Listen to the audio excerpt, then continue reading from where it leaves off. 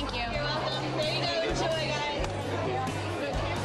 After all the drama at the spa party, I'm happy to be hanging out with my true friends, Jacqueline and Teresa, and um, we're going out to dinner tonight on a triple date, and I'm bringing my boyfriend.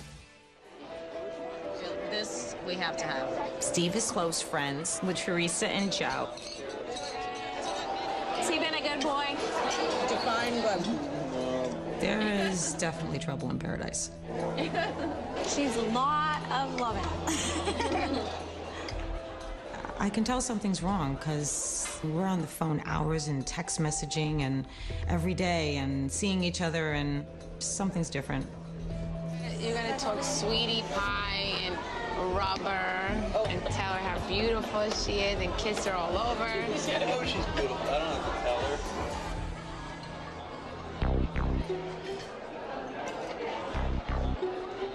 No, she See, doesn't that's the biggest, She likes biggest hear it. mistake men could ever make. What fool thinks that we don't need to hear it? Are you that fool, Steve?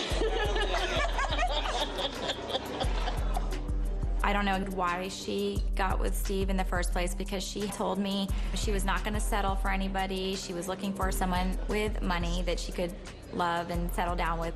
So when she started dating Steve, who's 26 years old, I didn't see where it was going to go long term. You still on top of things, Steve? I don't know about that. I don't think so. Not this week. The tension at the table was a little bit much.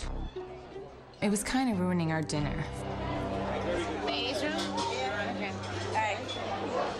I think we kind of knew Danielle was having an issue with him.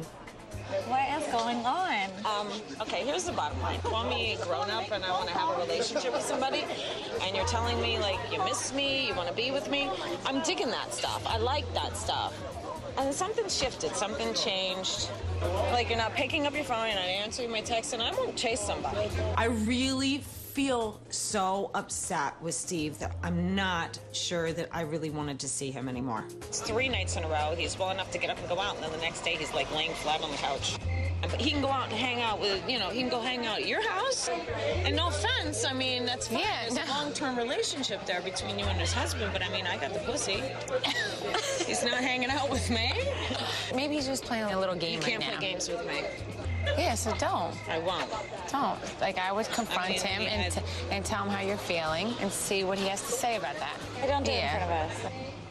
I was going to break up with Steve at the table at dinner, but Jacqueline and Teresa convinced me that it was a bad decision to make. I feel like I'm getting dragged into more Danielle drama. It's always Danielle, Danielle, Danielle.